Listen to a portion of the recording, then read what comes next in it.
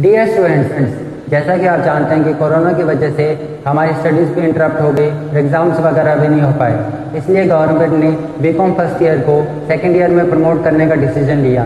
सभी classes second year से third year में और फ़र्स्ट ईयर से सेकेंड ईयर में इसी तरह से प्रमोट हुई। और उसके बाद ऑनलाइन एजुकेशन का सिलसिला शुरू हुआ, जिसके अंतर्गत हमने व्हाट्सएप के माध्यम से आपको मैसेजेस किए, आपको पी डी वगैरह सब मुहैया करवाए। ये सब साधन आपको उपलब्ध करवाए ताकि आपकी पढ़ाई को किसी भी तरह की क्षति ना पहुँचे। डायरेक्ट फ़ोन कॉल्स भी किए पेरेंट्स से भी बात की स्टूडेंट से भी इंटरेक्ट किया डायरेक्ट मैसेज भी किए। आपकी जो भी प्रॉब्लम्स थी उनको सॉल्व करने की पूरी पूरी कोशिश की। इसमें सारे स्टाफ ने आपका भरपूर सहयोग दिया। आशा करता हूँ कि जो आपने अब तक हमारा सहयोग किया है, और वो हमने आपका सहयोग किया है, वो सब इसी तरह चलता रहे, और हमारी ये जो मुहिम है, ये सक्सेसफुल रहे। अब मैं आपको ये बता दूँ, कुछ स्टूडेंट्स का कहना है कि व्हाट्सअप और जो पी पी टी पी का माध्यम है, वो तो काफ़ी कन्वीनियंट है, लेकिन ई लेक्चर्स वगैरह में डाटा कनेक्टिविटी वगैरह काफ़ी इश्यूज़ आते हैं। तो मैं ये बता दूँ कि सिचुएशन को हमें अडॉप्ट भी करना है और अडेप्ट भी करना है। हमें सभी तरह के माध्यम को धीरे धीरे अपनाना है। जो भी आपकी समस्याएँ हैं, उनका निराकरण हम धीरे धीरे करेंगे। पर आपको भी इसमें पूरी तरह से सहयोग करना पड़ेगा। अब काफ़ी पेरेंट्स का स्टूडेंट का कहना है कि जो सिलेबस है या बुक्स जो उन्हें पढ़नी है सेकेंड ईयर में, वो कौन सी हैं और किस तरीके से पढ़नी है? इसके बारे में आपको पी डी के माध्यम से मैंने पहले ही बता दिया, लेकिन फिर से एक वीडियो के माध्यम से एक रिविजन भी कर लेते हैं। ये बी कॉम सेकेंड ईयर के लिए तो यूज़फुल है ही, कि उन्हें क्या पढ़ना है और कौन सी बुक्स हैं? और जो मैंने अब तक वीडियो बताए हैं आपको, उसको कैसे इससे कनेक्ट करें? लेकिन बीकॉम फाइनल ईयर का भी इसमें रिवीजन हो जाएगा।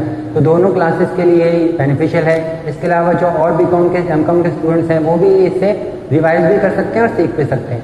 एक बात ध्यान रखिए कि क्लास स्पेसिफिक वीडियोस तो डाले जा रहे हैं, लेकिन ये इंटरकनेक्टेड होता है कॉमर्स सभी चीज़ें एक दूसरे के काम आती हैं। तो आपको ऐसा नहीं सोचना है ये दूसरी क्लास का तो हमारे लिए कुछ यूज़फुल नहीं है। एक्स्ट्रा जो भी आप आ सकें वो आपके लिए बेनिफिशियल है। और फाइनल ईयर के स्टूडेंट्स हैं, वो अपना फ़र्स्ट ईयर का और सेकेंड ईयर का भी इसमें रिवाइज कर सकते हैं। तो देखते हैं बी कॉम सेकेंड ईयर का परिपाठी क्या है, क्या पाठ्यक्रम है। सबसे पहले मैं आपको बता दूँ कि बी कॉम सेकेंड ईयर में आपकी जो बुक्स लगेंगी, वो होंगी मनी एंड बैंकिंग और इंटरनेशनल ट्रेड यानी कि बैंकिंग की पुस्तक लगेगी आप पे, मुद्रा और बैंकिंग और दूसरी पुस्तक होगी अंतर्राष्ट्रीय व्यापार। मुद्रा और बैंकिंग के पीपीटी नोट्स वगैरह मैंने आपको डाल दिए हैं। उसमें हम पढ़ेंगे मुद्रा क्या है, मुद्रा की परिभाषा वगैरह क्या है, क्या मॉनिटरी स्टैंडर्ड्स होते हैं। जुलाई माह में यानी फ़र्स्ट जो आपकी यूनिट है, उसके अंदर मुद्रा मुद्रा की परिभाषा आदि का वर्णन किया गया है। ये सब आपको बताया है और इन्फ्लेशन वगैरह उसके अंदर आता है। सेकेंड यूनिट आगे पढ़ेंगे। पहले फ़र्स्ट यूनिट अच्छे से ग्रिप में आपके आनी चाहिए। फ़र्स्ट यूनिट को कई बार स्टूडेंट जो है इग्नोर कर देते हैं, क्योंकि ये थ्योरी टाइप ज़्यादा होती है और याद भी कर लेते हैं तो ज़्यादा इंपॉर्टेंस नहीं देते लेकिन वीडियोस में मैं आपको बता चुका हूँ कि कितना इंपॉर्टेंट रहता है, हर डिटेल को अच्छे से समझना। फिर दूसरी बुक है इंटरनेशनल ट्रेड अब इंटरनेशनल ट्रेड के बारे में कई वीडियोस में डाल चुका हूँ इसकी इंपॉर्टेंस बता चुका हूँ। और आपको ये भी बता चुका हूँ कि बाकी चैप्टर्स जो आपको थोड़े हार्ड लगते हैं, उसमें आप थोड़ा ध्यान देते हैं। फ़र्स्ट और सेकंड यूनिट्स जो आपको बहुत सिंपल और ईजी लगती हैं। और कई बार इसके जो इसका टेस्ट रिज़ल्ट है, वो भी काफ़ी अच्छा है। जो जब टेस्ट रिज़ल्ट अच्छा आ जाता है तो बच्चों में कॉन्फिडेंस आता है और कॉन्फिडेंस आना भी चाहिए, यही ज़रूरी है। पर उन्हें ये भी समझना है कि कभी कंप्लेसन नहीं होना है। जितना ज़्यादा हम उसको डिटेल में समझें, वो अच्छा रहेगा। तो इंटरनेशनल ट्रेड के अंदर हम उसके एडवांटेजेस डिसएडवांटेजेस वगैरह समझेंगे प्रॉब्लम समझेंगे। अब प्रॉब्लम समझना बहुत ज़्यादा इंपॉर्टेंट है, क्योंकि कॉमर्स में हम कोई चीज़ क्यों पढ़ते हैं? हम किस लिए पढ़ते हैं कॉमर्स के अंदर? वो हम इसलिए पढ़ते हैं ताकि उसका कुछ फ़ायदा उठा सकें। एक्चुअली क्या है, कई सब्जेक्ट्स ऐसे होते हैं जिसमें काफ़ी कुछ नॉलेज हम पढ़ लेते हैं ताकि हमें नॉलेज हो जाए, हम उसको दिखा सकें, लोगों से चर्चा कर सकें डिबेट कर सकें डिस्कस कर सकें। लेकिन कॉमर्स एक ऐसा सब्जेक्ट है जिसमें जो कमर्शियल्स होते हैं, वो हर चीज़ को प्रॉफिट और लॉस ये ज़रूर ध्यान में रखते हैं। क्योंकि कॉमर्स पढ़ने का जो बेसिक मोटिव है, वो है रिसोर्सेज को कैसे मैक्सिमाइज किया जा सके। लिमिटेड होती है रिसोर्सेज उसको कैसे मैक्सिमाइज किया जा सके। और कॉमर्स पढ़ने में दो चीज़ें हम ध्यान में देते हैं। पहली तो ये देते हैं कि प्रॉब्लम सॉल्विंग कैसे की जाए। कोई प्रॉब्लम आती है तो उसका सॉल्यूशन ढूँढने के लिए ही बेसिकली हम पढ़ते हैं ना? ज्ञान का लक्ष्य क्या है? सिर्फ़ ज्ञान को संग्रह नहीं करना होता है, बल्कि उसका कुछ करना होता है यूज़ करना होता है। तो प्रॉब्लम को समझना। तो ये जो फ़र्स्ट यूनिट्स रहती हैं मनी की हो चाहे इंटरनेशनल रेट की स्पेसिफिकली इसमें हम क्या पढ़ते हैं? प्रॉब्लम तो प्रॉब्लम्स क्या क्या हैं?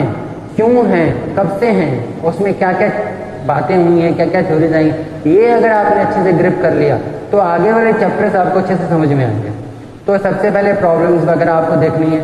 एडवांटेजेस डिसएडवांटेजेस की जो थ्योरी है, उसका जो प्रॉब्लम्स वगैरह, वो अच्छे से समझनी है डिटेल में डेप्थ ये इससे बहुत सारे ऑब्जेक्टिव क्वेश्चन आते हैं, और ये देखा गया है कि सबसे पहले सिंपल यूनिट से ही बच्चे कई बार गलत आंसर करके आते हैं कॉम्पिटेटिव एग्ज़ाम्स में भी गलत आंसर करके आते हैं।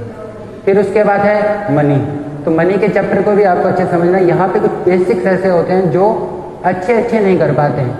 और बहुत जो नॉर्मल बच्चे होते हैं जो थोड़ा सा यूनिट्स अच्छे से पढ़ लेते हैं, उनको आगे हमेशा एक क्लैरिटी बनी रहती है। तो इंटरनेशनल ट्रेड है मनी एंड बैंकिंग है। अंतर्राष्ट्रीय व्यापार और मुद्रा और बैंकिंग दोनों ही पुस्तकें आपके काफ़ी काम की हैं। क्योंकि कॉमर्स में मनी तो काफ़ी वाइटल रह गई। और अंतर्राष्ट्रीय व्यापार इंजन ऑफ़ ग्रोथ है।